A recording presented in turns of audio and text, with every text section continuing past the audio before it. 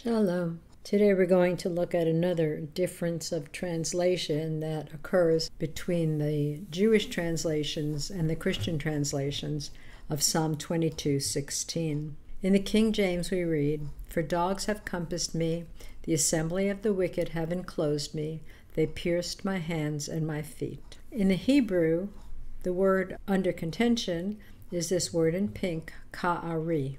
In all these Jewish translations, we see that it talks about a lion, and there is no mention of piercing.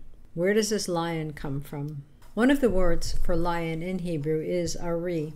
There are different names for the female lion and the great lion and the young lion. Ari is one of them. Numbers 24 9. He couched, he lay down as a lion, and as a great lion, who shall stir him up? Blessed is he that blesses you, and cursed is he that curses you. From 1 Samuel 17:36 Your servant slew both the lion and the bear, and this uncircumcised Philistine shall be as one of them, seeing he has defied the armies of the living God. So this is the Ari, this is the lion, but what about the kaf that comes before it?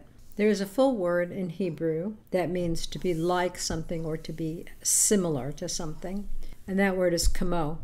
We find it in Exodus 15:5. The depths have covered them; they sink into the bottom as a stone, talking about Pharaoh and his chariots like a stone, kamo, they sink. But there is a one letter abbreviation for this preposition, and uh, it talks about it in Brown Driver Briggs, an equivalent for k before suffixes, always before light ones, occasionally before heavy ones. We don't need to know those rules, we're just looking at the kaf. And there's another video about this. Uh, I'll put a link to that. So, for example, in Deuteronomy 17:14, we see this Kachol Hagoyim. The full verse, when you come into the land which Jehovah your God gives you, and shall possess it, and shall dwell therein, and shall say, I will set a king over me, like as all the nations that are about me. The kaf is like, similar to, and the goyim, you know, are the nations. So together, this ka'ari, which appears in Psalm 22, appears in some other places exactly in that form. Numbers 23 24. Behold, the people shall rise up as a great lion, and lift up himself as a young lion. He shall not lie down until he eat of the prey, and drink the blood of the slain. In Isaiah 38 13, I reckon till morning that, as a lion, so will he break all my bones from day even to night will you make an end of me? And the Jewish commentators, when they're talking about Psalm 22, they always make reference to this Isaiah 38:13, which is always translated as, as like a lion, similar to a lion. So where does the piercing come from? There is a verb in Hebrew which is kara kufresh he. If you know any Hebrew grammar, you can see that ka'ari is not a verb that's ending in a third person past tense vowel. It should be u. There is no verb root, kaf, aleph, resh. Now, if there was a scribal error made and somebody had written a vav instead of the yud, we sort of have this mixed thing come up, ka'aru, and maybe that's a bad spelling for karu. And so that's what we're looking at. An example of the verb kara, karu, in past tense, they dug. Genesis 26 25. And he built an altar there and called upon the name of Jehovah and pitched his tent there.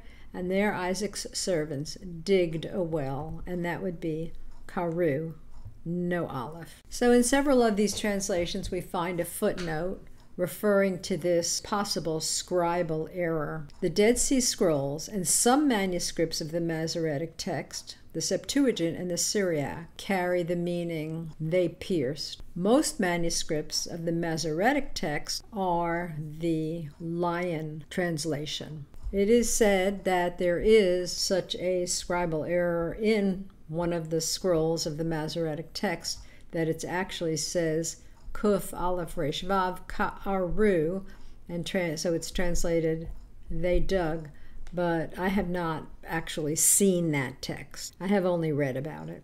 So when we come to the Septuagint, here is the verb orakson, which appears in the New Testament and it means to dig. Matthew 31 33. Here another parable. There was a certain householder which planted a vineyard and hedged it round about, and digged a winepress in it, and built a tower, and let it out to husbandmen, and went into a far country. So here comes the verb to dig. This is Septuagint, maybe first or second century BCE. When it comes to the Vulgate, the Latin translation, there are two different renderings. One supposedly based on the Hebrew text, he uses the word for bound. He bound my hands and feet are bound.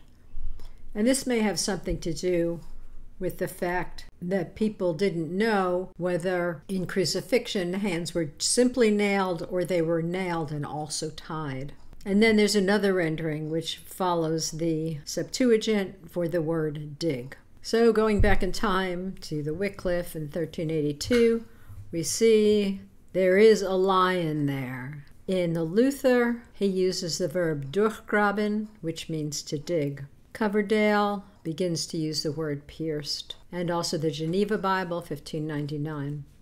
The Douay-Rheims is a Catholic Bible that follows very closely to the Vulgate they use the verb dig. King James is pierced. Webster is pierced. Young's literal is pierced. The New Living Translation is pierced. The NET Bible includes the lion and another verb. They pin my hands and feet. The Message Bible follows that. They pin me down hand and foot. And the Passion Translation uses the word pierced. It also provides the footnote about the Septuagint and some Dead Sea Scrolls. There are words for pierce in Hebrew. The most common one that you might be familiar with is dakar. It appears in Numbers 25 8. And he went after the man of Israel into the tent, and thrust both of them through, the man of Israel and the woman through her belly. So the plague was stayed from the children of Israel, the incident of Phinehas. And the most common place we see this, we recognize this verb, is in Zechariah 12:10. And I will pour upon the house of David and upon the inhabitants of Jerusalem the spirit of grace and of supplications. And they shall look upon me whom they have pierced, whom they have thrust through, and they shall mourn for him as one mourns for his only son, and shall be in bitterness for him as one that is in bitterness for his firstborn son. Another common word for pierce in Hebrew is nakav, the idea of making a hole. Isaiah 36 6. Lo, you trust in the staff of this broken reed, on Egypt, whereon if a man lean, it will go into his hand and pierce it. So is Pharaoh, the king of Egypt, to all that trust in him. Nakav is also translated several times as to express oneself in a negative manner or to curse, as we see in Numbers 23:25.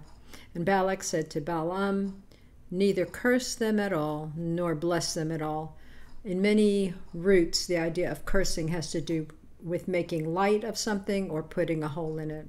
Regardless of the translation, we do know that Yeshua did go to the cross, that he did receive wounds in his hands and feet as a result of the nails. When he says out from the cross, Eli, Eli, lama sabachthani, Eli, Eli, lama azavtani in Hebrew, why have you forsaken me? He is not making a statement about the fact that God is turning away his face from him.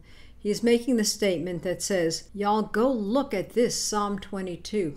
Look at the prophecy that was made a thousand years before this day. That God gave David a revelation through time that this would happen to me.